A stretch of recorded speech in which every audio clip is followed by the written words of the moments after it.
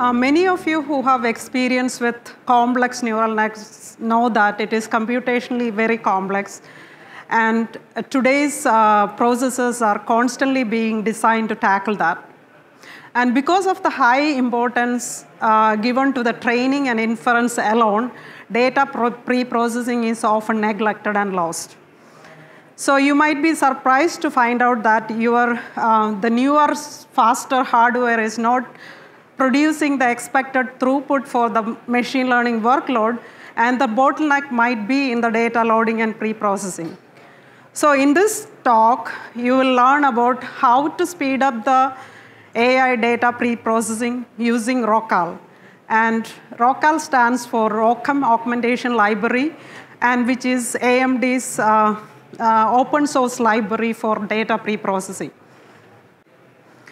So first, I will introduce why we need ROCAL, go through its pipeline and architecture, and I'll go through some operators for data loading versus augmentations the importance of flexible pipelines which can scale across multiple devices.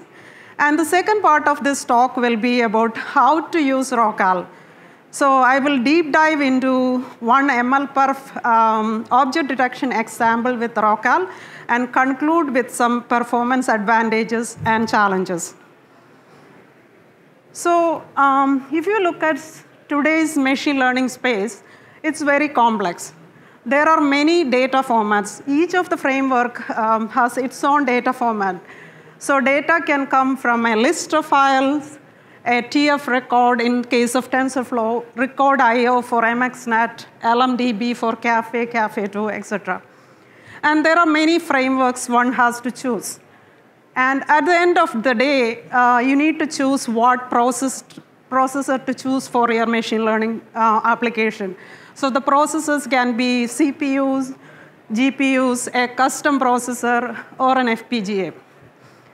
So the call to action for that is um, uh, you need a unified library which can scale across all this space and where uh, um, all the optimizations are one place. And another problem is um, if you look at today's GPU performance, it increases more than 2x with every new generation. And the native pipelines of the framework mostly use CPU cores for pre-processing data before um, training. So what happens is as training gets faster with GPU, the pre-processing need to catch up. This can be seen from the AMD's EPYC servers with Radeon Instinct MI100 compared to Radeon Instinct MI200 processor.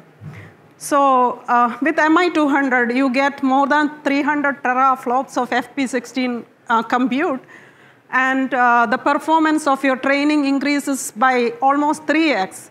As you can see from the graph on the right-hand side, where the green line represents the training speed, which linearly increases as you go to the newer generation of the GPU. But your overall throughput, which can be seen as the red line, is bottlenecked by the uh, pre-processing speed. So what happens is the falling CPU to GPU performance throttles the overall performance of your machine learning workload, and you need a high performance library that can load balance between CPU and GPU.